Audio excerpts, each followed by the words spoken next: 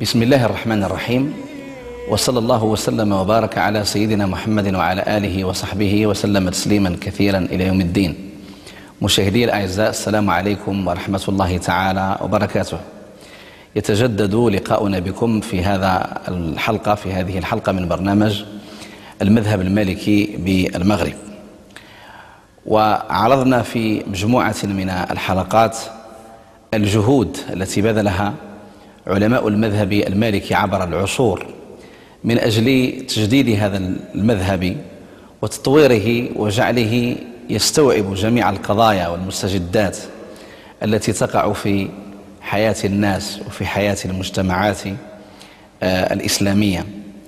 وكان لهذا الفقه دور كبير في تحريك عجلة التنمية الاقتصادية والاجتماعية في المجتمعات. الإسلامية. بفضل ما بذله الفقهاء من جهود في هذا الباب. في هذه الحلقة مشاهدي الأعزاء نحاول أن نتطرق إن شاء الله تبارك وتعالى لموضوع تخصصي آه، يتعلق بجانب دقيق من جوانب التخصص في المجال الاقتصادي الإسلامي. وعنوان هذه الحلقة هو دور المذهب المالكي في نجاح العمل المصرفي التشاركي. نستضيف في هذه الحلقة الأستاذ الفاضل دكتور محمد أحمين وهو آه، باحث في آه، المعاملات المالية. أستاذي الكريم مرحبا بكم معنا في هذا البرنامج.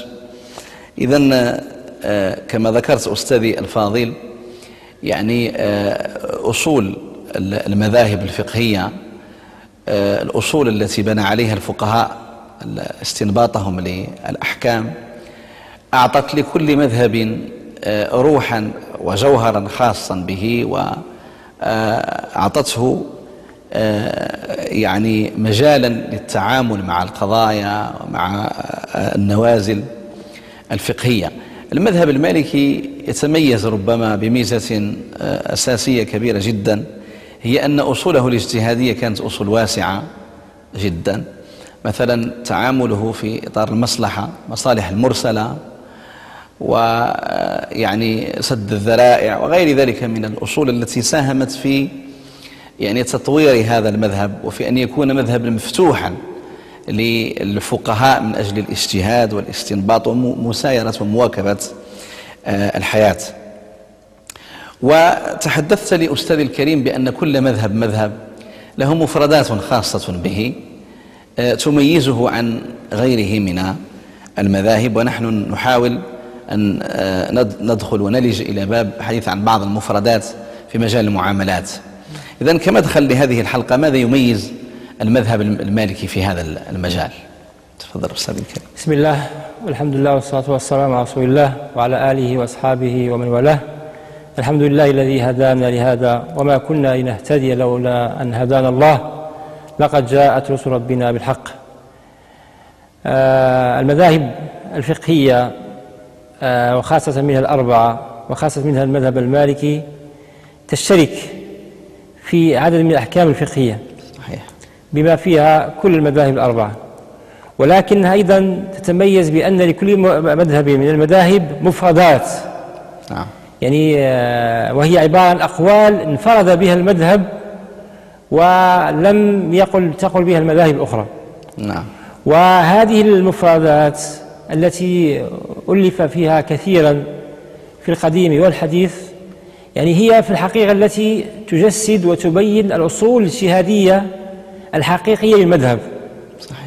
وتبين الأصول الاجتهادية التي تميز المذهب عن غيره صحيح. وهكذا نجد بأن المذهب المالكي له عدد من الآراء التي انفرد بها وهي فعلا تجسد مثل ما تفضلت في مقدمتك نعم. الأصول الاجتهادية الثرية والواسعة وخاصة منها العمل بالمصلحة المرسلة. نعم. وكما قلت هذه المفردات يعني كتب فيها قديما وحديثا في باب المعاملات وفي باب الأقضية وفي باب العبادات. ولهذا السبب لعلنا نجد لماذا بعض أئمة كبار فقهاء المذاهب الأخرى شهدوا للمذهب المالكي بتميز نعم. وتفرد أصوله وعلى رأس, رأس هؤلاء آه، شيخ الإسلام ابن تيمية صحيح. الحنبلي المذهب الذي قال من اعتبر أصول الشريعة وقواعدها وجد أن أصول مالك هي أقرب الأصول آه، والقواعد إلى الشريعة بل أيضا وقال أيضا في كل باب من أبواب الشريعة قال في باب البيوع وأصول مالك في البيوع هي آه، أجود من أصول غيره وذلك لأنه كان يقال بأنه أخذها عن سعيد المسيب الذي كان يقال بأنه أفقه الناس بالبيوع نعم. بل أيضا قال في باب المشاركات بأن أصول مالك في المشاركات هي أجود وأعدل من أصول غيره. وهكذا إذن هذا المذهب يعني تميز مثل ما قال شيخ الإسلام تيمية بأنه أجود بأن أصوله هي أجود الأصول في باب البيوع وفي باب الشركات. وهذه هذان بابان هما أوسع أبواب المعاملات ناهيكم عن المعاملات الأخرى طبعا. صحيح. إذن هذه شهادة من آه، شيخ الإسلام ابن تيمية العالم المجتهد آه، في آه، أصول مذهب مالك. وكما ذكرت أستاذي الكريم وهذا ملحظ مهم يعني النظر إلى الأحكام الفرعية الفقهية يحيلنا بالضرورة إلى ننظر في الأصول. وهذا هو سر المذاهب. يعني المذهب ليس هو مجموعة من الأحكام والفروع الفقهية وإنما هو ينبني على أصول. هي التي وهذا هو النسق ديال المذهب. يعني حتى حين نتحدث عن أهمية المذهب نتحدث عنه في هذا الاتجاه في كونه نسقا. يعني وليس فقط يعني مجرد اختيار يعني هكذا آه، اعتباطي. آه، إذا أستاذي الكريم لو نبدأ إن شاء الله تبارك وتعالى بتعريف نحن بصدد الحديث عن العمل المصرفي التشاركي. ماذا يقصد بالعمل المصرفي التشاركي؟ نعم. نعم. العمل المصرفي التشاركي هو يقصد به العمل الذي يتميز بصفتين أو بأمرين أساسيين. الأمر الأول هو أنه يعمل وفقا للشريعة الإسلامية. وهذا العمل يعني يعني بدأ في الحقيقة بصفة يعني رسمية سنة 1975 ببنك دبي الإسلامي. نعم. ثم ببنك واحد والآن توسع وأصبحت عدد مؤسسات العمل المصرفي التشاركي أكثر من 400 مليار دولار وأيضا انتقلت من مؤسسة واحدة سنة 1975 إلى الآن أكثر من 400 مؤسسة وأيضا انتقلت من 20 مليون دولار تأسس بها بنك دبي الإسلامي هناك والآن أصبحت ألف مليار دولار تريليون دولار مجمل أصول الأعمال التشاركية. الصفة الثانية التي تميز هذا العمل المصرفي التشاركي هو صفة تشاركية نعم. وهذه هي التي تميزه عن العمل المصرفي التقليدي. الذي ينبني على على القرض على الاقراض بالضبط. نعم. العمل المصرفي التقليدي ينبني على علاقة دائن ومدين. صحيح. عن طريق صيغة العقد عقد القرض سواء كان في آه، تجميع الأموال من المدخرين أو في توظيفها واستثمارها. أما العمل المصرفي التشاركي فهو يتميز بصفة تشاركية مع المودعين. فالمودعون الذين يضعون أموالهم في البنوك التشاركية هم شركاء للبنك وأطراف مشاركة للبنك وليسوا مقيدين له وليسوا ليس فقط ولا تربطهم به علاقة دائن ومدين وإنما علاقة علاقة مشاركة في في الأرباح وفي الخسارة. نعم. فعندما يستلم البنك التشاركي هذه المبالغ النقدية عن طريق عقد المضاربة بحيث يكون المودعون هم أرباب أموال ويكون البنك هو المضارب فيقوم باستثمارها في مختلف أنواع الصيغ المعتمده في الشريعة وما ترتب من أرباح يتم اقتسامه بين البنك وبين العميل طبعا نحن في المغرب عندنا الآن مشروع قانون آه، مؤسسات الائتمان المعدل هو قد تضمن فصلا بعنوان البنوك أو المصارف التشاركية ويتضمن عدة مواد تنظم هذا العمل المصرفي التشاركي وبما في ذلك إحداث لجنة لجنة شريعة للمالية التي تعمل آه، في بنك المغرب ويتولى بنك المغرب سكرتاريتها وهذه الهيئة الشرعية العليا أو المركزية أو لجنة لجنة الشريعة المالية هي التي ستشرف على تطبيق هذه البنوك التشاركية للشريعة ومدى التزامها بالشريعة وفعلا سندخل إن شاء الله تعالى بعد بعد أن يمر هذا القانون على على البرلمان ويتم المصادقة عليه وإصداره سنمر إلى تجربة جديدة نعم. سيكون لعلماء المغرب ول يعني دور كبير في بيان وإبراز الآراء المالكية الجميلة التي ساهمت في التنمية نعم. الاقتصادية نعم. آه وهذا ما سنراه إن شاء الله قريبا إن شاء الله تبارك وتعالى اذا ميزة العمل المصرفي التشاركي هو المسألة التشاركية بمعنى أن المؤسسة المالية مع آه يعني هذا الزبون إذا شئنا آه هو الذي هو شريك يعني آه، بطبيعة الحال هم شركاء في الربح والخسارة. آه، بطبيعة الحال وهذا ينبني على آه، مبدأ وعلى قيم الإسلام في جانب المعاملات آه، المالية. آه، إذا آه، ذكرت لي أستاذي الكريم يعني مجموعة من الآراء في المذهب المالكي التي ساعدت على تطوير هذا العمل المصرفي وهذا يبين يعني النظرة أو قدرة الفقه المالكي على التعامل مع القضايا وعلى صبغ المعاملات بطبيعة أو بصبغة شرعية. إذا آه، عندي وأنتم لتذكير المشاهدين لكم مساهمة كتيب في هذا الموضوع موضوع العمل المصرفي آه، التشاركي. آه، إذا تحدثتم عن عشرة آراء في الجملة.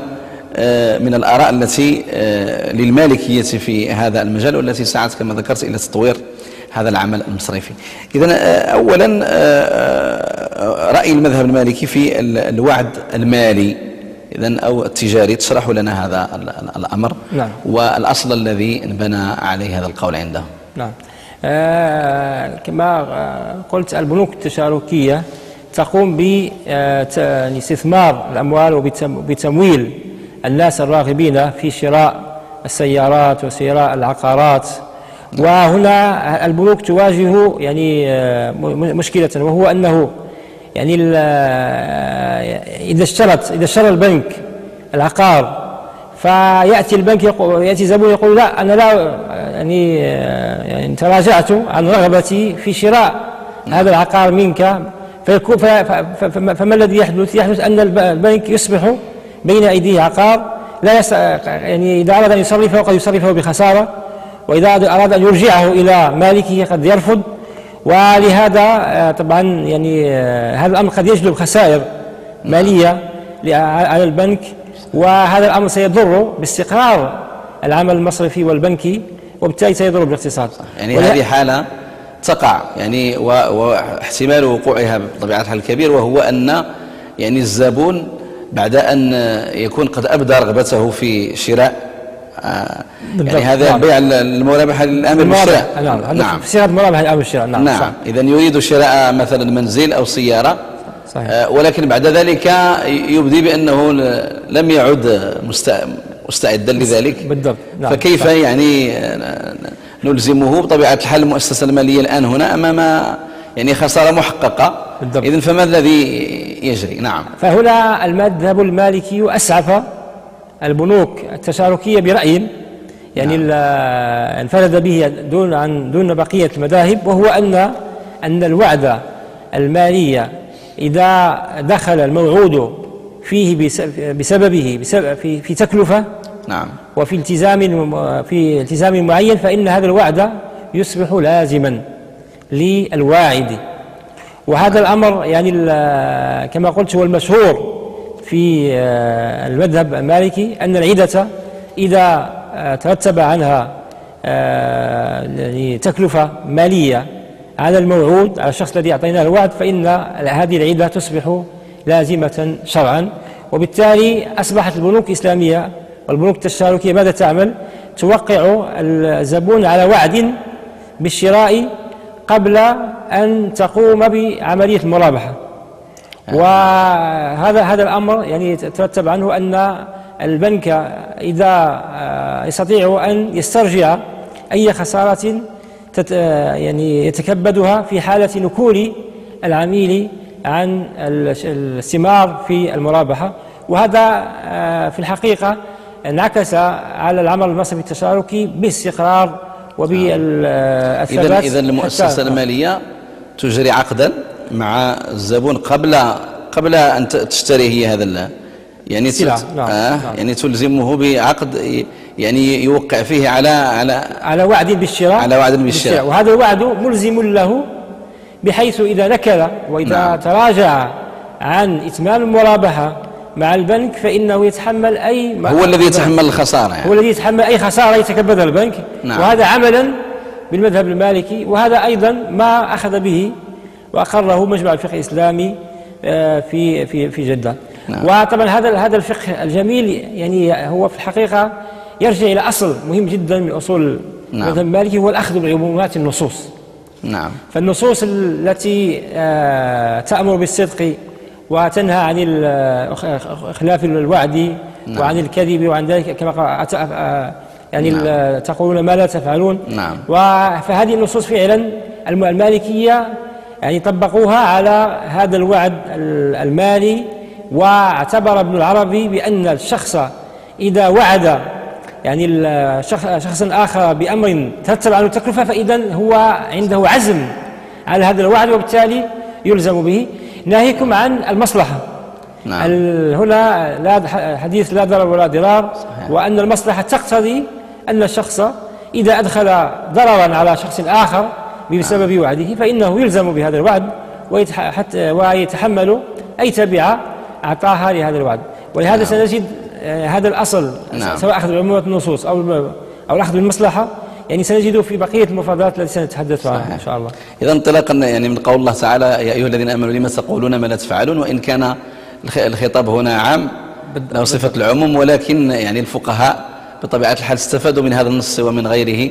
نعم. يعني آه، آه، إمكانية إلزام الواعد الذي آه، فعلا طبعا هذا قبل نعم. بعض الفقهاء المعاصرين يثيروا إشكالية هو أن هذا الوعد المالي الملزم هو هو ملزم عند المالكية في باب التبرعات وليس في باب المعاوضات والمرابحات. نعم. ولكن هنا يقال أمرين. الأمر الأول أنه حتى لو صح هذا الأمر وهو مشكوك في صحته هو أن الوعد الملزم آه، الوعد المالي الملزم خاص بالتبرعات فنقول يقاس عليه. فكيف لا نستطيع أن نقيس معاني الإلزام بالوعد في معاملة بالملايين؟ صحيح ويترتب عنها آه، خسارة محققة للبنك إذا نكل الواعد كيف لا نقيسها على أمر هو أقل وهو الوعد في مجال التبرعات وغير ذلك من الأمور نعم. نعم. ثم أيضا نقول بأن المالكية صحيح أنهم يعني لهم في في بيوع الآجال يعني رأي يقوم على على سد الذرائع ويعني يحكمون بكراهتها وبعضها يمنعونها ولكن نقول بأن يعني الحاجة الآن اقتضت أن نأخذ برأي المالكية في وعد المالي الملزم وأما موضوع رأيهم بالكراهة في آه، ميوع الأجل فهذا طبعا يعني آه، الآن المصلحة تقتضي أن آه، وأصبح من المعروف ومن المعمول به في جميع الأقطار البيع بالأجل والمرابحة بالأجل وغير ذلك من صحيح. المعاملات نعم, نعم. هناك أيضا رأي فقهي آخر المالكية هو خلط أموال المضاربة. يعني وهذا ما يتيح بطبيعة الحال للمؤسسة المالية أن تشتغل أو تستثمر هذه الأموال التي تجمعها من المضاربين. نعم. إذا ما وجه هذا الرأي؟ نعم. هذا أيضا فعلا رأي جميل آخر نعم. من الآراء التي انفردت بها المدرسة المالكية وهو أن المضارب الذي يضارب بأموال الآخرين. نعم. ويستثمرها ويستثمرها هل يجوز له أن يخلط أمواله ورأس ماله الذاتية ورأس ماله الذاتي بهذه بأموال الآخرين في وعاء استثماري واحد ويستثمرها ويتاجر بها وهل يجوز له أن يضم إلى أموال التي عنده أموال من أشخاص آخرين حتى لو لم يعلم الأشخاص الأول الذين أعطوه أموالهم لكي يستثمرها ويضارب بها نعم. هنا يعني المذهب المالكي انفرد بأنه أجاز أن الخلط أموال المضاربة مع بعضها البعض سواء كانت هذه الأموال مصدرها من المضارب نفسه أم من أموال أشخاص آخرين لهم رأس مال يريدوا أن يستثمروه فمذهب المالكي أجاز هذا الأمر حتى لو بدون علم آه، أرباب الأموال حتى إذا, إذا يعني ليس مضطرا إلى أن يستشيرهم في الأمر ليس ليس ليس واجبا نعم. شرعا أن يستشير لماذا؟ نعم. المالكي نظروا إلى أن هذا أن في هذا قوة للمضاربة وإعطاء طاقة مزيدة للاستثمار وللمضاربة ولنجاح المضاربة ولتحصيل مزيد الأرباح صحيح. يعني و... هذا يعني هذا هذا هذا تشجيع لي كما نقول للتنمية ولفرص الاستثمار بالضبط. يعني التقي... هذه العملية عملية تقييد المؤسسة مثلا المالية أو كذا يعني سوف يحد كثيرا من نشاطها ومن قدرتها على الاستثمار يعني هذا يعني في إطار الدفع ديال الفقه الإسلامي هذا هو يعني هذه الآراء الاجتهادية هي اللي تفتح, المجال لل بالضبط. نعم لتشجيع المبادرة الاقتصادية نعم. وكذا. نعم. الآن المؤسسات المالية التشاركية نعم. هي تفتح حسابات مضاربة لآلاف من الناس مئات الآلاف من الناس. نعم. فهذا رأي المالكي يتيح لها أنها تجمع هذه الأموال كلها من من من الزبائن وتضع في آه، محفظة استثمارية واحدة وتتاجر بها وتوزع على الأرباح عليهم بالنسبة والتناسب. بقية المذاهب قالوا لا هذا تعدي نوع من التعدي. نعم. وضرر بال, بال, بال المذهب المالكي قال لا لم ينظر إليه أنها تعدي وإنما نظر إليه بأنها قوة للمضاربة وقوة للاستثمار. وفعلا الآن كل البنوك التشاركية في العالم تأخذ برأي المالكية وهذا أمر أقل أقره مجمع الفقه الإسلامي. وبالتالي نرى كيف أن الآراء مذهبنا الكريم والكبير والعظيم نعم. التي قيلت من آه، عشرات القرون الآن يعني تسعف نعم. المؤسسات المالية المعاصرة نعم. في توسيع استثماراتها وفي تحقيق مزيد من التنمية الاقتصادية إذا أستاذي الكريم أيضا هذا القول ربما ينبني على الأصل الأصل الكبير الذي هو أصل المصلحة أعمال المصلحة المرسلة يعني بالضبط نعم. تقريبا نعم, عندنا أيضا رأي الفقهي البيع, البيع قبل القبض وهو أيضا رأي فقهي للمالكية. ماذا يعني هذا الرأي؟ نعم. آه طبعا من المعروف شرعا أن النبي صلى الله عليه وسلم نهى عن بيع الغرر. نعم. أي أي, شيء الذي احتمال أن يوجد أو لا يوجد. أن يكون أو لا أو لا يكون. نعم. وهنا جاء نهي عن كان نقولوا يبيع السمك في البحر بالضبط. السمك يعني في الماء أو الطير نعم. في الهواء. نعم, نعم. بالضبط. فجاء النهي أيضا موضوع قضية بيع الشيء قبل قبضه. نعم. شخص اشترى شيئا ما سيارة دارا حتى لو جوالا شيء بسيط نعم. يعني جهاز اتصال يعني. فهل يجوز له أن يبيعه قبل أن يقبضه وأن يستلمه؟ هذه نقطة خلافية في الفقه الإسلامي وانفرد المذهب المالكي برأي جميل وعظيم. المذهب المالكي ماذا قال؟ قال بالنسبة للطعام لا يجوز بيعه قبل قبضه. المطعومات. مطعومات. كل نعم. أنواع المطعومات نعم. من القمح والذرة والدقيق وغير ذلك من الأمور. هذه هذه أشياء لا يجوز أن تباع أن يبيع من اشتراها إلا بعد أن يقبضها وأن يحوزها إلى رحاله وهذا أمر مجمع عليه في الفقه الإسلامي. نعم. وما سوى الطعام يجوز أن يباع عند المالكية وهذا انفرد به آه، يجوز أن يباع قبل قبضه. طيب ما الفرق بينهما؟ نعم. الفرق بينهما أن أن أن المالكية يقولون بأن النص ورد في الطعام. آه نعم. فلا فغيره لا يقاس عليه. لماذا لا يقاس عليه؟ قالوا الطعام هو قوت الأبدان نعم. وقوت الحيوان وبه تقوم بنية الكائن البشري فهذا لا يمكن أن تقاس عليه أي سلعة أخرى والشريعة خصت الطعام باعتباره قوتا نعم. قوت البشر وطعام البشر بألا يباع إلا بعد أن يقبض حفاظا على استقرار أسعار المطعومات عجيب لأن لأن مسألة أساسية في حياة حياة الناس, حياة الناس. فلو سمح فلو سمحت الشريعة بتداولها قبل قبضها بإعادة بيعها مرات ومرات قبل قبضها سيكون المتضرر الأخير هو المستهلك الأخير. صحيح. وهذا هو الذي حدث وهذا في سنة 2008 بسبب الأزمة الغذائية العالمية المعروفة. نعم. وهذه هذا الأزمة الغذائية من بين أهم أسبابها هو, هو وهو إعادة بيع الطعام قبل قبضه. وهذا أمر طبعا محرم في الشريعة بالإجماع وهو ما تتبع عنه في ارتفاع وغلاء الأسعار المواد الغذائية. طيب هذا خاص بال خاص بالطعام المطعومات أما غير المطعومات فبقية المذاهب اختلفوا. المذهب الحنفي قال لا يجوز بيع المنقولات قبل قبضها. آه، نعم. لا يجوز بيع المنقولات قبل قبضها. نعم. أما العقار يجوز بيعه قبل قبضه.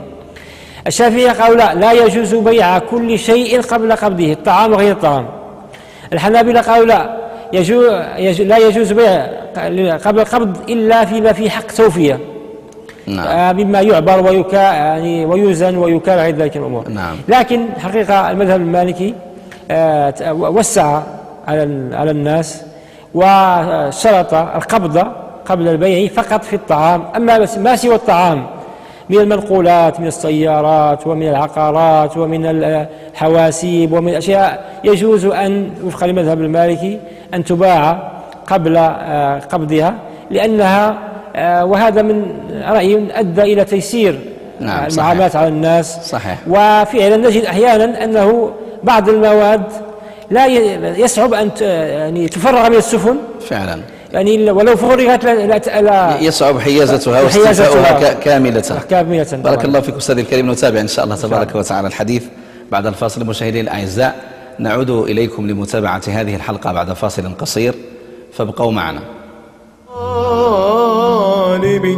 فتمسك به يا أخي يا أخي يا مغربي يا مغربي.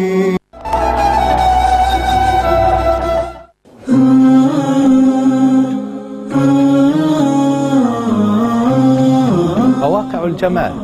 برنامج يتتبع الجمال ويقرأ الجمال ويبحث في الجمال في هذا الكون العريض. ثلة من العلماء والمفكرين يبحثون لكم في هذا المجال. الإنسان ليس كائنا ماديا يخضع لقوانين ثابتة مثل قوانين التمدد في في الحرارة والتقلص في البرودة. أو الذوبان أو التجمد كما هو في في العالم المادي. من المنطلق الديني ومن المنطلق الإسلامي أن الخطاب ينبغي أن يلامس تلك النفخة التي نفخها الله سبحانه وتعالى في في روح الإنسان. عدم الاستسلام الصبر التفوق على الألم هذه كلها تدرس في كبريات مدارس المدارس التدبير المقاولاتي نعم.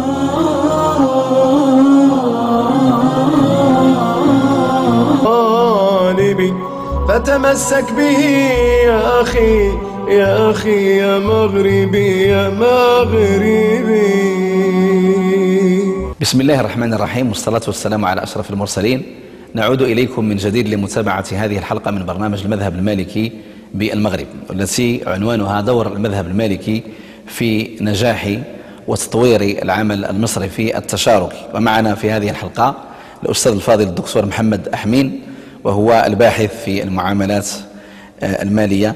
أستاذي الفاضل إذا كنا بصدد استعراض مجموعة من آراء آه، المذهب المالكي آه، الفقهية والتي فتحت مجالا كبيرا للعمل المصرفي التشاركي لنجاحه ولكي يحقق هذا العمل ما يرتجى منه إن شاء الله تبارك وتعالى من أن يكون بابا واسعا. للتشجيع على المبادرة الاقتصادية وتطوير اقتصاد المسلمين. إذا كنا مع البيع قبل القبض وبطبيعة الحال آه، آه، بالتلخيص يمكن أن نقول بأن المذهب المالكية في هذا الأمر هو أنه في باب المطعومات ما هو من الطعام على اعتبار حاجة المجتمع الماسة إلى الطعام لا ينبغي ولا يحرم يعني ولا يجوز بيعه قبل قبضه وقبل حيازته. أما ما عدا ذلك من الأمور عند المالكية فيجوز لأنه كما ذكرت أستاذي الكريم قد قد يصعب وقد يعسر تحقق ذلك في مجموعة من الأمور ومن الأعراض التي تباع وتشترى. إذن وهذا مفتح المجال للمؤسسات المالكية التي تعمل بالصيغة التشاركية فتحت لها مجال باش أنها آه، يعني تدخل في هذا العمل يعني آه، آه، المهم في شراء يعني وبيع المنازل والعقارات والسيارات إلى غير ذلك. إذا إذا سمحت نمر لقاعدة أخرى. هي مسألة أو عمل أو رأي, رأي فقهي آخر هو التوسع في إجازة الشركات. نعم كيف يعني يوسع المذهب المالكي في هذه المسألة؟ نعم أنا سبق أن قلت بأن الشيخ سام تيمية يقول بأن أصول مالك في المشاركات أو باب الشركات هو أعدل وأجود من أصول غيره. نعم. والسر في ذلك أن الإمام مالك كان قد توسع أكثر من غيره من الأئمة أئمة المذاهب الأخرى في إجازة الشركات. فهو أجاز تقريبا عدد كبير جدا من من الشركات شركة العنان والمضاربة والمساقات وعلى حين يعني أو شركة الأبدان نعم. أو الصنائع. يعني هذه أنواع كثيرة تجدها تجد كتب الفقه المالكي ومدونات مذهب زاخرة بأحكامها وبتفصيلاتها آه، مثلا المذهب المالكي أجاز توسع في المساقاة نعم. المساقاة يعني من عنده شجر يدفعه يعني لغيره لكي يسقيه ويعتني به ويقتسمان الثمرة والثمار نعم. نعم. هذا الأمر طبعا يمكن أن يقع في آه، مساحات الزراعية الكبيرة يعني بحيث أنه صاحب الشجر من العنب وغير ذلك من الأنواع الأشجار المثمرة يدفعها لمن؟ للشركات ذات الخبرة أو الأشخاص ذوي الخبرة لكي يسقونها ويعتنوا بها ويتقاسمون الربح والخسارة فيما بعد. نعم. بقية المذاهب الإمام أبو حنيفة منع المساقة. وبقية المذاهب الذين أجازوها أجازوها إما في النخل فقط أو في النخل والعنب. لكن المذهب المالكي أجازها في كل أنواع الشجر. وعمدته في ذلك المصلحة المرسلة. أن هذا أمر يعني هذه المساقاة هي عقد فيه مصلحة. وهذه مصلحة يعني موجودة في العنب وموجودة نعم. في النخل وتوجد أيضا في كل أنواع الأشجار. وبالتالي المذهب المالكي وسع من الأوعية الاستثمارية والأدوات الاستثمارية التي ستساهم في التنمية الاقتصادية للمجتمع عن طريق توسع في إجازة الشركات. نعم. إذا أيضا هناك رأي آخر هو التغريم بالمال وهو رأي فقهي أيضا معروف. نعم. نعم. التغريم بالمال هذا آه، باب يعني آه، دخله المالكية ويعني يعرف به المالكية مثل ما يعرفون بغيره من الأبواب الفقهية. وسر فهم يقولون بالعقوبات التعزيرية بالمال والسبب في ذلك كما قال آه، شيخ الإسلام تيمية في رسالته التي آه، فضل فيها أصول مدرسة المدينة والمالكية كثرة النصوص والآثار التي وجدوها بين أيديهم في دار الهجرة آه، ومستقر قبر محمد الحمد لله صلى الله عليه وسلم نعم.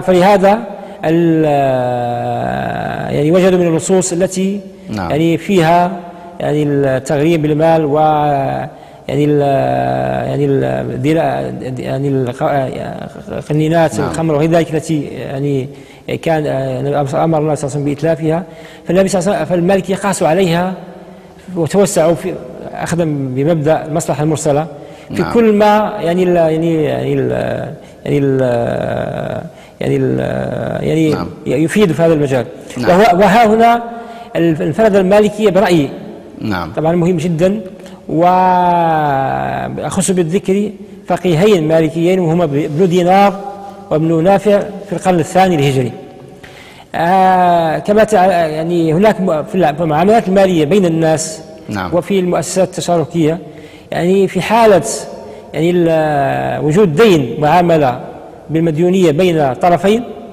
فالبنوك الإسلامية فالبنوك التشاركية ماذا تجي يعني معظم معاملاتها معاملات قائمة على المداينات نعم. من المرابحات والإيجارات وغير ذلك فالبنوك التشاركية تبيع عقار وتبقى تطالب الزبون بدين يعني وبأقساط على فترات يعني نعم. متقاربة نعم. آه هنا عدد من نلاحظ أن عدد من الزبائن يعني آه يعني آه بسبب عدم وجود غرامة التأخير في البنوك التشاركية يعني يمكن أن يؤخر يتأخروا في, في, في يماطل في السداد للبنوك التشاركية نعم ويماطلوا في سداد ديونهم و... الحالة إذا ماذا إلى ماذا تلجأ هذه المؤسسات من أجل أن بالضبط. فالمؤسسات نعم. التقليدية البنوك التقليدية ماذا تعمل تأخذ فائدة وبالتالي الزبون نعم. يسارع بسداد دينه. يضغطون على الزبون من خلال الفائدة من خلال الفائدة. مضاعفة الفائدة. كلما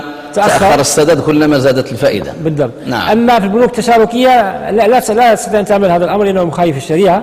صحيح. فماذا يعني لم تجد مسعفا إلا رأي هذين الفقيهين المالكيين بن دينار وابن نافع في القرنين الثاني الهجري وهؤلاء يقولون بأن بجواز الإلزام بالتصدق والإلزام بالتبرع نعم. لأنه إذا هناك معاملة معينة والشخص يلزم نفسه بتصدق بمبلغ مالي معين لطرف ثالث في حال تأخره عن السداد هذا هذا الأمر يجيز يجيزه هذان الفقيهان المالكيان ابن دينار وابن نافع وعليه آه، أخذت البنوك التشاركية بهذا القول وبهذا الرأي وأصبحت آه، تضع شرطا وبندا في عقود المرابحات والإيجارات مع الزبائن بأنه في حالة التأخر عن السداد بدون وجه حق بدون أن يكون الزبون معسرا فإنه يلتزم بالتبرع بمبلغ مالي لجهات خيرية آه، يتم الصرف إليها وفق الأنظمة المنظمة لهذا الأمر في البلد. وطبعا هذا الأمر ساهم في نعم. انضباط الزبائن في سداد مديونياتهم. بعد أن كانوا يماطلون لأنهم لا يجدون هادعا ولا يجدون شيئا يلزمهم بالسداد. وفي البلد مثل السودان أصبحت البنوك هناك تجأر للبنك المركزي بنوك تشاركية تجأر للبنك المركزي بالشكوى بأن يعني الأموال كثيرة معطلة عند الزبائن لم يسددوها تأخروا بسدادها ولا نستطيع أن نعمل حيالهم شيء. فكانت كان هذا الرأي المالكي نعم. هذين الفقيهين المالكيين ابن دينار وابن نافع في القرن الثاني القرن الثاني الهجري مسعفا لهذه المعضلة وحالا لها. وبالتالي الآن هذا الرأي المالكي في المدرسة المالكية مطبق في كل أنحاء العالم. يوجد هذا البند الذي هو آه، طبعا يستند ضمن ما يستند إليه على آه، عمومات النصوص مثل ما قلت من قبل. نعم. المالكية يعملون النصوص إلى أبعد حد. في الحديث في الحديث المتفق عليه مطل الغني ظلم. نعم. وفي الحديث الآخر عند أحمد والترمذي وما غير ذلك آه لي الواجد ظلم يحل عرضه وعقوبته. فعقوبته هنا لفظ مضاف واللفظ المضاف من ألفاظ من صيغ العموم نعم. فتشمل الحبس كما يقول الفقهاء الأقدمون وأيضا تشمل هذا الالتزام بالتصدق مثل ما يقول هذان هذان الفقيهان المالكيان نعم. وهذا أيضا فيه مصلحة لهذه المؤسسات التشاركية مصلحة لأن مصلحة للجهتين يعني يعني هو أستاذ الكريم يعني يعني هو بطبيعة الحال طريقة في الضغط على الزبون من أجل أن يسدد في في الأوان وحتى في الوقت الذي لا يسدد فإن هذه مصلحة كبرى جدا تتحقق كما ذكرتم تذهب للمؤسسات الاجتماعية. يعني هو في نفس الوقت تمارس الآن عملا اجتماعيا بالضبط. بالإضافة إلى العمل التنموي والاستثماري وكذا بالضبط. المؤسسة المالية أيضا تباشر عملا اجتماعيا آه، مهما جدا. نعم, نعم. وطبعا هنا ينبغي أن آه، أن يعلم بأن البنوك هي آه، مخزن وحوض للسيولة النقدية في المجتمع صحيح. كل الناس يضعون أموالهم في البنوك. فلو أن هذه البنوك ليس عندها وسائل لضمان أو لحماية هذه الأموال من المتأخرين من المواطنين سيكون هذا فعلا مشكلة على مستوى السيولة على مستوى يعني. مستوى نعم. الاقتصاد يعني صحيح. نعم. فطبعا الفضل بعد الله عز وجل يعود لهذين الفقيهين المالكيين ابن دينار وابن نافع في القرن الثاني الهجري. آه، بسبب هذا رأيهم طبق بعد يعني قرون طويلة. عجيب. يعني وهذا يبين لنا أثر يعني الاجتهاد الفقهي وأثر إعمال الفقه في في القضايا والمستجدات. يعني برأي فقيهين يعني حلت في الحقيقة هي معضلة حقيقية جدا. يعني لذلك قلت هذه المسألة الآن عممت في جميع المؤسسات بغض النظر عن كونها يعني تختار المذهب المالكي أو غيره لأن المسألة ملحة. لأن نعم. مسألة تقتضيها المصلحة الراجحة للجميع يعني للمؤسسة وغيرها. إذن هناك أيضا نقف مع رأي فقهي آخر هو عقد التوريد وبيعة أهل المدينة ما المقصود بهذا ومجال نعم. إعماله؟ آه من آه، من المعلوم حاليا بأن آه، عدد المؤسسات التعليمية والعلاجية ومستشفيات ومن أيضا من المصانع التي تحتاج إلى أن تورد سلع سلعا على فترات يعني متوالية ومتباينة ولكنها أيضا لا تستطيع أن تدفع الثمن نقدا. وهذا هذا هذا النوع من البيوع يسمى بيع التوريد وهو معروف في القانون التجاري. هذا البيع هذا البيع يعني يعني يعني يرى أنه يصطدم بقاعدة شرعية وهي منع بيع الكالئ بالكالئ أي نعم. الدين بالدين. أي المعاملة المؤجلة البدلين ابتداء هي معامله ممنوعة في الشريعة نعم. لكن هنا المالكية لهم رأي أيضا يعني انفردوا به وخرج عليه على عليه هذا العقد الجديد اللي هو عقد التوريد وهذا الرأي هو إجازتهم لما يسمى في الفقه المالكي وفي المدونة أساسا ببيعة أهل المدينة نعم. جاء في المدونة بأن الناس كانوا يتبايعون اللحم من من الجزار آه، على والعط والثمن إلى العطاء إلى أن يأتي لهم الأعطيات من في أوقاتها طبعا نعم. فإذا هنا هي معاملة قائمة على نوع من تأجيل المبيع الذي هو اللحم هنا أو أشياء, أو أشياء أخرى وأيضا تأجيل الثمن إلى العطاء فالمالكية هنا أجازوها. قالوا هذه المعاملة جائزة وهي ليست من البيع الدين بالدين المنهي عنه لأمرين. الأمر الأول هو أن هذا أن البائع هو من أهل الحرفة نعم. ومن أهل الصنعة وعنده السلعة ابتداء أصلا. ليس بالضرورة أن توجد سلعة كلها عنده. فلهذا بعد إذا كان البائع من أهل الصنعة ومن أهل الحرفة وعنده السلعة ابتداء حتى لو لم تكن كلها فهذا ليس بيع ليس فيه تأجيل لهذه السلعة وإنما هي آه، يعني سلعة شبه حاضرة والأمر الثاني أنه ينبغي أن يستلمها في أقرب الآجال ووضعوا ذلك أسبوعين وطبعا مع المصلحة يمكن أن نوسعها حسب ال... نعم. إذا بيعة هذه المدينة بيعة أهل المدينة هذه نعم. التي عرفت في المدونة هي الآن هي التي خرج على أساسها عقد التوريد وبسببها يعني يعني نحكم على هذه المعاملة التي تنتشر بشكل كبير جدا في المؤسسات التي تعتمد على توريد سلع مثل المستشفيات والمصانع وغير ذلك من أو الأغذية وغير ذلك. نعم. نحكم بأن هذه معاملة جائزة شرعا وهي أخت بيعة أهل المدينة المعروفة في آه، مدينة دار الهجرة. نعم. بارك الله فيك. يعني في الحقيقة هذه الأقوال كل قول قول إلا وفيه يعني إشارات يعني مهمة جدا ويعني تعطينا يعني ينظر على العقل الفقهي خاصة عند المالكي الذي هو يعني نعم. عقل مارس الاجتهاد آه، مسألة أيضا آه، رهن رهن الديون أو وفيها أيضا الحساب الجاري نعم نعم المالكية في باب الرهون أو ما نعم. يسمى باب التوثيقات يعني يعني فقههم يقوم على التيسير والمسامحة. ويقول بل حتى في باب التبرع هم مثلا في موضوع الغرر المنهي عنه كما صحيح مسلم قالوا هو خاص بالمعاوضات يعني لا تبيع السمك في الماء نعم. ولا الطير في الهواء. أما تريد أن ترهن شيئا قد يكون وقد لا يكون هذا أمر جائز. لماذا؟ يقول لأنه يجوز لك أن تعمل المعاملة. وتعمل البيع بدون رهن.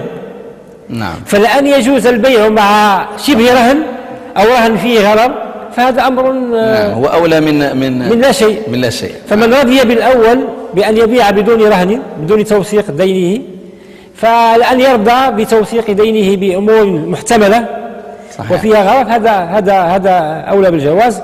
ولهذا يجيزون مثلا بيع الشجر أو الثمر قبل بدون صلاحه لا يجوز الملكية ولكن يجوز أن يرهن أن أرهن يعني الثمرة قبل بدون صلاحه لأن هذا هذا توثيق وتكميل للعقد. صحيح. ومن هذا الباب أيضا أجازوا رهن الديون. الديون هي أموال محتملة احتمال أن تسترجعها أو أنت لا تسترجعها. نعم. ففيها نوع من الغرر ولكن المالك يقولون يجوز أن يعني أن تكون محل الرهن لأنها شيء مكمل للعقد. ولا أن يجوز العقد بدون رهن آه، فأولى أن يجوز برهن, برهن مع رهن محتمل. آه. ومن هذا الباب في المؤسسات نعم كيف تستثمرها يعني المؤسسة المالية؟ نعم المؤسسات المالية التشاركية عندها ما يسمى بالحسابات الجارية.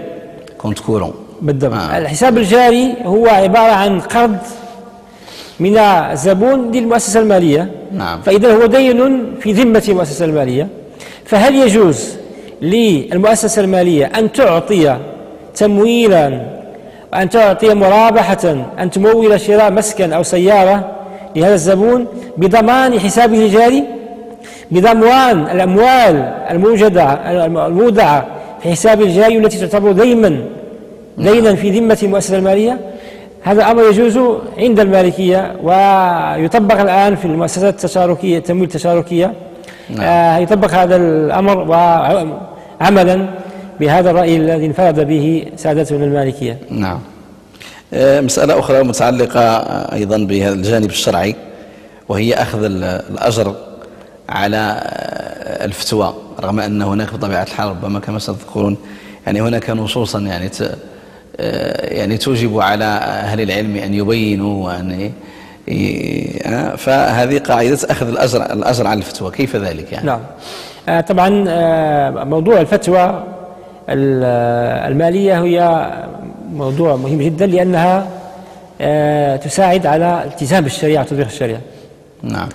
فالمالكية هنا نظروا نظرة يعني مصلحية وقائمة على المصلحة المرسلة. يعني آه، وقالوا في حالة إذا آه، يعني كان يعني هناك أحوال معينة. يعني لا يستطيع الإنسان أن يتفرغ للفتوى. نعم. يعني, يعني طبعا الأصل والوضع السليم والذي يوصى به طبعا هو أنه أن الفتوى تتولاها جهات يعني تأخذ يعني أجر عن ذلك من ببيت المال أو نعم. ما يسمى الآن من الدولة صحيح ولأن هذه مصلحة عامة للمسلمين نعم. فيجوز أن يصرف لها من بيت مال المسلمين ومن من الدولة وهذا مثل ما هو معمول في المغرب وغيره من الدول أيضا نعم. آه، وأيضا نحن في المغرب أن لجنة الشريعة المالية التي آه، نعم. توجد في المشروع المعدل لقانون مؤسسات الائتمان وما في حكمها فعلا هي يعني تعمل في إطار آه، يعني بنك المغرب وبالتالي ستتقاضى أجرة نعم. من من من الدولة وهذا الأمر طبعا يعني هو الأصل الذي ينبغي أن يعمل به ويطبق لكن في حالة إذا تك يعني كثرت المؤسسات المالية ومثل بعض الدول التي لا يوجد فيها لجنة مركزية للفتوى في البنك في البنك المركزي ما نعم. ما هو الحل؟ هل البنوك يعني يمكن أن تذهب إلى كل عالم وتقول له يا سيد الشيخ أنا عندي معاملة أن أستفتيك فيها وتتصل بالآخر وتقول معاملة نعم. أستفتيك فيها فهل هؤلاء المشايخ والعلماء عليهم أن يجيبوا هذه المؤسسات ويحلوا لها مشكلاتها نعم ويفتونها في معضلاتها هكذا بدون أجر أم, أم يجوز لهم أن يطلبوا مثلا مقابلا أم يجوز لهم أن يطلبوا مقابلا استشارة يعني فقهية كما هو بالنسبة للاستشارة القانونية أو أحسن أو. غيرها صح. نعم. مثل أن هذه المؤسسة تدفع للاستشارة القانونية والهندسية نعم. وذلك فهنا أيضا نعم.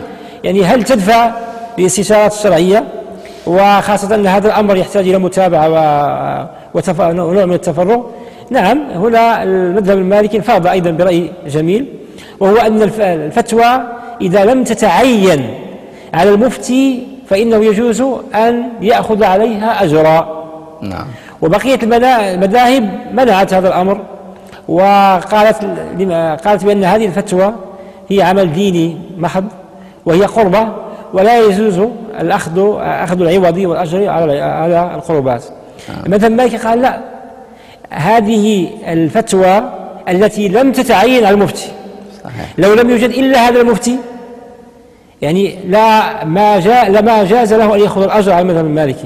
يعني أصبحت بالنسبة إليه بيان للدين وقربة محضة. لكن إذا تعدد المفتون وأصبح يعني وأصبح هنا وأصبح بالإمكان أن يستشار أكثر من شخص ولم تتعين نعم. بأي حال من الأحوال الفتوى على المفتي فهي هنا يقول المالكي لا هي ليست قربة هنا ليست قربة محضة. هي نوع قربة. نعم. وهذا الأمر فبالتالي يجوز أخذ العوض عليها وذلك قياسا وقياسا على أخذ على الإمامة نعم. على الخطابة فعلا. على التعليم العلوم الدينية كثيرة جدا, كثيرة جدا. نعم. وتعقيد الحياة تعقيدات الحياة وتفاصيلها الآن يعني أصبحت ربما تفرض هذا النوع من المعاملات يعني ربما قديما لأن حتى يعني الفتوى تختلف باختلاف الأزمان والأمكان والأحوال آه. يعني بطبيعة الحال هذه المهام الوظائف الآن أصبحت وظائف تقتضي كما كما ذكرتم يعني أن أن يفرغ لها الناس. والآن المصالح تعددت والحياة تشابكت في المجال الاقتصادي والاجتماعي كيف نفرغ مثلا يعني شخصا لوظيفة دينية وظيفة الإمام وكذا ونقول له لا, لا, لا يجوز أن تأخذ عليها أجرا. إذن كيف سوف ي... آه نعم نعم. إذا هذا الرأي يعني له آه، في الحقيقة يتعامل مع مع الواقع يجسد فقه الواقع بشكل نعم. نعم, نعم. ويجسد فقه الواقع ويجسد أيضا أن آه، مثل ما أنت تفضلت آه، فقه الاستصلاحي صحيح. وفقه مبني على المصلحة المرسلة. فيقولون المالكية هنا بأنه لو لم آه، يأخذ يأخذ هذا المفتي أجرا لما تعطلت يعني خطة الفتوى ووظيفة الفتوى ولما وجد الناس من يفتي من يفتيهم. وأيضا هذا الشخص يعني لابد أن يكون له كفاية ولابد أن يكون له مؤنة. فإذا لم تتعين عليه الفتوى فإنه يجوز له أن يأخذ أجرا عليها وهذا الأمر هو الذي آه هذا الرأي المالكي هو الذي طبقته البنوك التشاركية في العالم كله نعم. فهي تتعاقد مع آه علماء في إطار ما يسمى الهيئات الشرعية صحيح. للبنوك التشاركية نعم. وهؤلاء تصرف لهم مكافآت بين سنوية كما تصرف لغيره من المستشارين القانونيين نعم. ومن أعضاء مجلس المجالس الإدارية على ما يقدم له من خدمات استشارية ولكن وهذا يضمن حتى أستاذ الكريم يضمن حتى استقرار المؤسسات هذه المؤسسات لأن في كل مرة كما ذكرت تبحث نعم. عن فقيه أو عن مستفتي يعني عن عن مفتي يعني ليس كأن تكون لك لجنة يعني مخصصة لهذا الغرض نعم. فهذا الأمر يحافظ على استقرار المؤسسة يعني نعم. وعلى أداء وظيفتها بواحد الشكل اللي هو يكون سليس ربما نختم إن شاء الله بهذه القاعدة ديال تأجير العين أو هذا الرأي نعم. تأجير العين لمن باعها. نعم. نعم. أيضا هذا فعلا آه، رأي فاض به المالكيه والفاضت به المدرسة المالكية أنه يعني تأجير ما يسمى بتأجير العين لمن باعها. نعم. أنا عندي عقار معين بيت. يعني و يعني بعته لك. نعم. وصار ملكا لك فهل يجوز لك أن تؤجرني هذا العقار؟ هل يجوز لك لي أن أشترط عليك أن تؤجر لي هذا العقار بدل أن تؤجره إلى شخص آخر؟ يعني يعني تبيعني وتشترط علي أن أؤجره لك أن أؤجره لك. بالضبط. إذا نعم. إذا كنت ستؤجره إلى أي شخص آخر فأنا أقول لك أنا أولى أن تؤجرني هذا العقار الذي الذي كان ملكي ونقلته إليك نعم. فالمالكي يقولون لا لا لا, لا مشكلة في هذا الأمر. نعم. بقية المذاهب يمنعون هذا الأمر. ويعتبره في نوع من الجهالة آه، في السعر أنه إذا لو أن الإجارة لم تتم بعد البيع فأنا أكون قد يعني آه، آه، يعني خفضت من السعر نعم. بسبب رغبتي في الحصول على رغبتي في استئجار السلعة نعم. ولكن المالك يقول لا السعر يتجزأ لكل عقد بحسبه صحيح. عقد البيع له سعر وعقد وعقد إجارة لا فإذا حقيقة أستاذ الكريم نعم. يعني شكر الله لك. لأخبرت بأن الوقت قد وقت البرنامج قد نفذ. وفي الحقيقة وقفنا معك على هذه الآراء الفقهية السديدة التي كان لها دور كبير جدا في آه، فسح المجال للعمل المصرفي من التشارك من أجل أن يتطور ومن أجل أن يؤدي وظيفته وأن يكون آه، آه، ربما يعني بديلا وأن يكون سبيلا لإظهار عظمة وعبقرية آه، الفقه الإسلامي الذي هو فقه بطبيعة الحال ينبني على الكتاب والسنة. أشكرك أستاذي مشددا. آه، الشكر موصول إليكم أيضا مشاهدي الأعزاء على متابعتكم معنا لهذه الحلقة التي كانت حول آه، دور المذهب المالكي في نجاح العمل المصرفي التشاركي. على أمل اللقاء بكم في فرصة قادمة أستودعكم الله. والسلام عليكم ورحمته تعالى وبركاته.